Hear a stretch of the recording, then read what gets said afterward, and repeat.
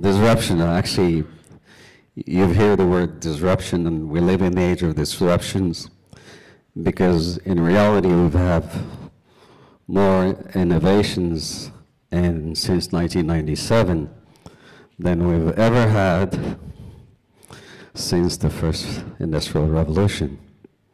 So, what is it? How do we get there? Considering actually that there's a lot of, every time I give the first class in the, in the business, I used to be the dean for the business school, the law school and hospitality.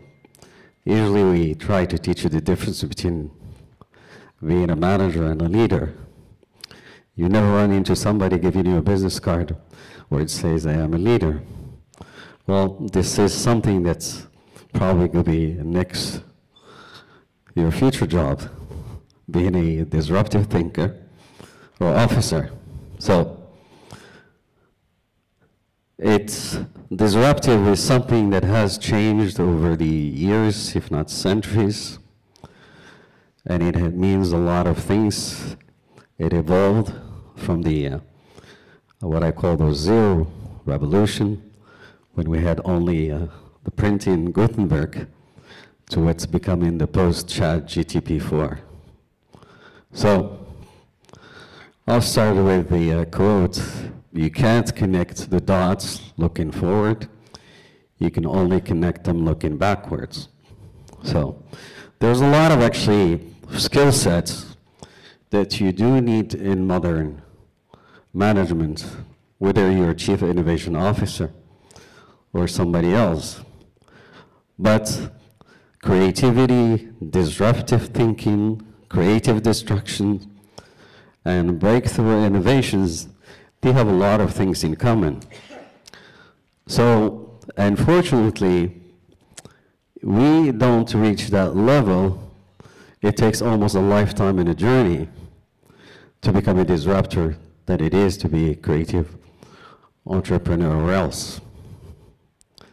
So I'll start with a what I would call the, the curious case of Benjamin Button. I don't know if you've seen it.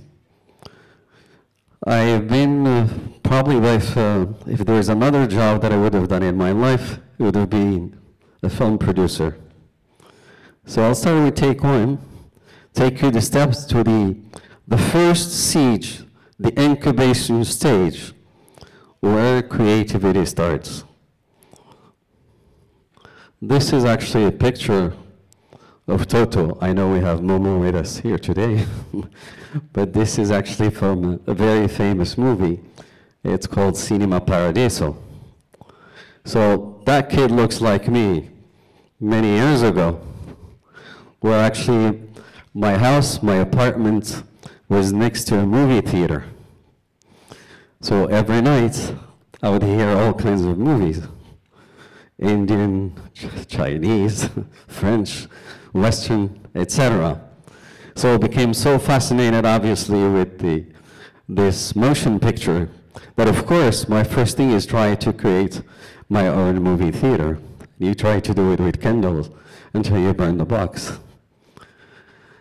Now, this is actually the first stage, curiosity. And then you try to scale up or step up your creativity to start building, creating your imagination world.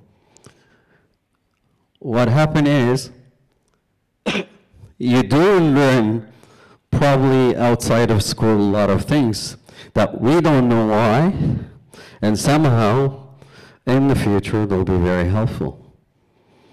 So we were, we used to watch things like the Six Million Dollar Man, and this is remind me of uh, Elon Musk and the new chips in the brain.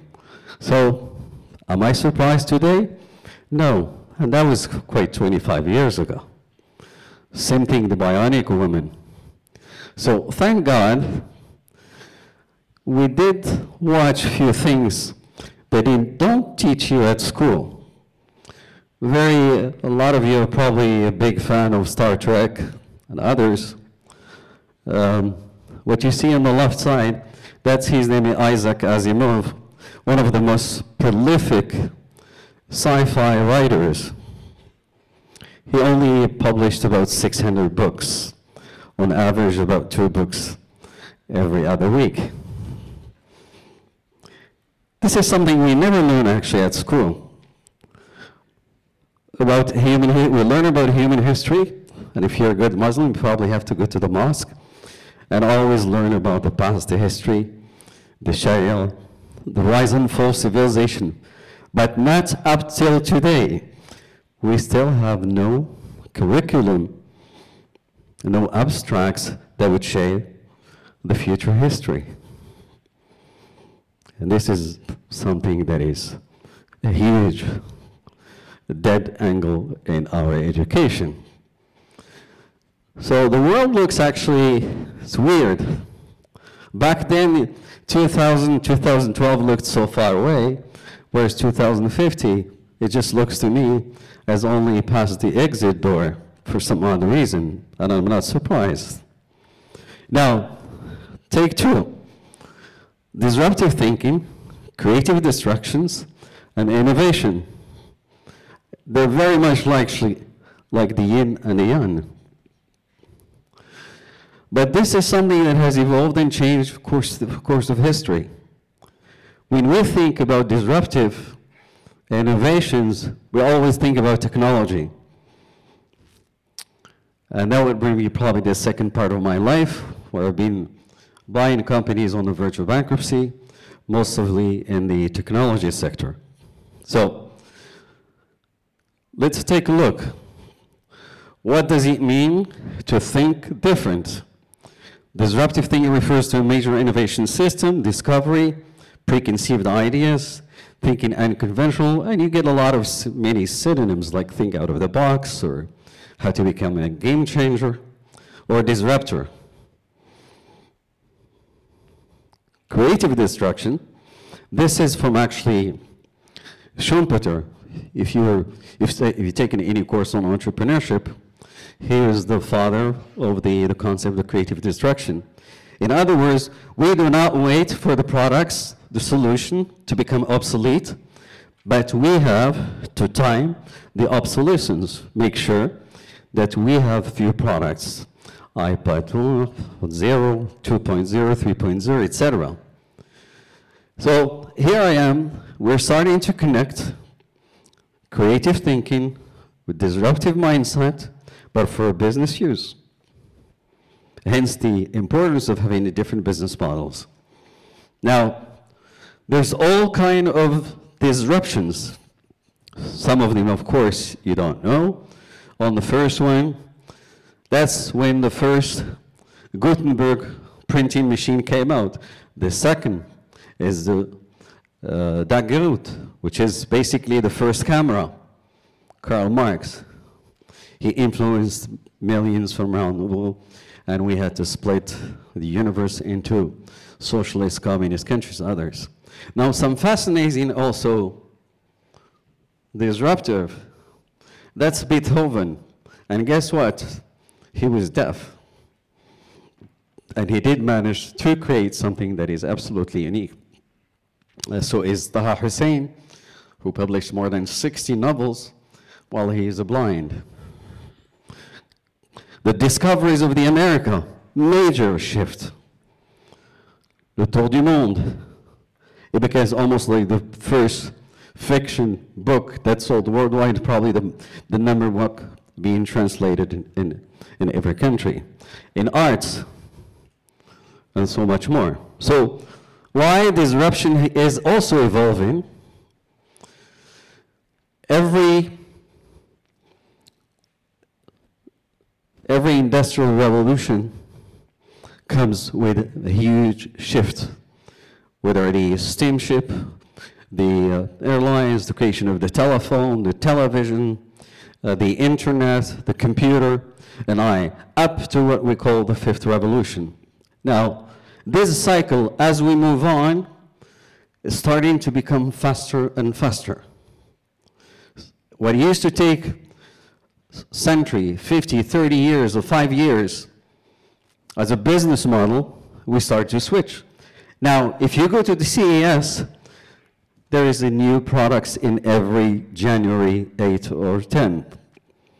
So if you have stock or inventory, as of December, you probably have a problem if you haven't been able to sold it or to get rid of it. So this process of paradigm shift is a really huge shift. It's like the invention of social media, chat GTP, that really brings a huge change. That's what we call a paradigm shift. We don't wait for it to come. Now, more and more, we have to predict it. Now, there's a moment that is so important in this disruption that we call it a tipping point. What is a tipping point? Is that magic moment when an idea, trend, or social behavior crosses a tipping point. And we'll show you how. COVID. I consider this the biggest universal masterclass ever, where the whole humanity lived under certain conditions where we have to face the most difficult challenges, coping with so many disruptive things, chain supply, emergency care collapse, financial health, what do we do helping these small businesses, prevention of the spread, mental health, media frenzy, risk mitigation, emergency rooms, 3 million dead people. And guess what? The most, the biggest uh, nations in the world, including the US, weren't able, were unprepared for disruption. With all the, the behemoth institutions, organizations, and funding they had, they couldn't deal with it because they weren't prepared. And there's a reason why we weren't prepared. So,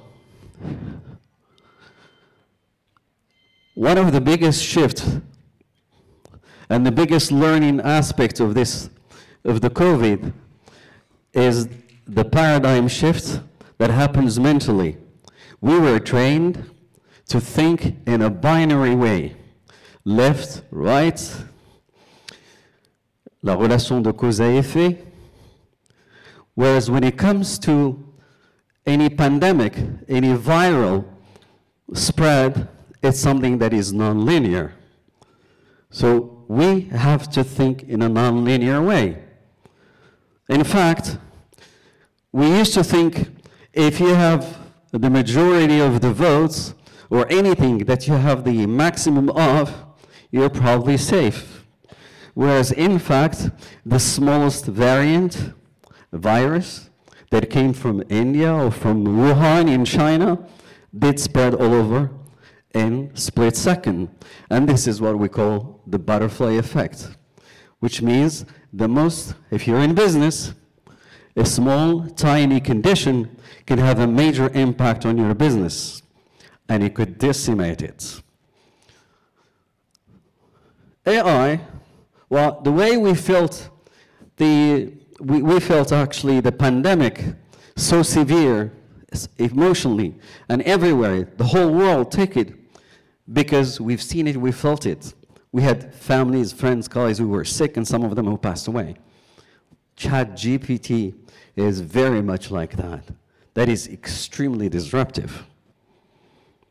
Some of it, actually, the founders, the godfather of Geoffrey Hinton, the godfather of AI, he's pulled the alarm, quit Google because he thinks this is something disruptive. I'm not saying that I'm against AI.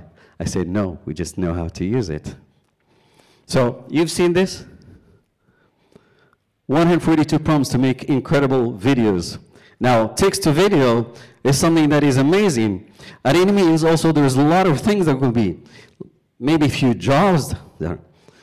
Um, as the uh, vice president for marketing for my company in Canada, I, we had to deal with basically to all, lay off all the marketing team, the business developer, and the salespeople, and as just rely how do we deliver the goods, how to create lead generation, how to produce the content, just relying on tools, smart tools. That used to take many people to do the film, the video, the text, and so on. Disruptive. brain implant, not a surprise. So now, what does it take to get this disruptive thinking driver license where you could run, manage major organizations and take them into the future? So what kind of skill set you need? How do we harness this disruptive mindset? What are the challenges for the near futures? Okay. So, start with what if. When we have a scenario, one of the first things I do is what if we? Uh, and it's, you can change the whole thing. If I say, what if Amazon or Google decided to make Morocco Royal Air Moroccan Airlines, they wouldn't think of you as a passengers. It will totally be a different business model. They will think of you as a uh, seamless, continuous consumer. Think out of the box.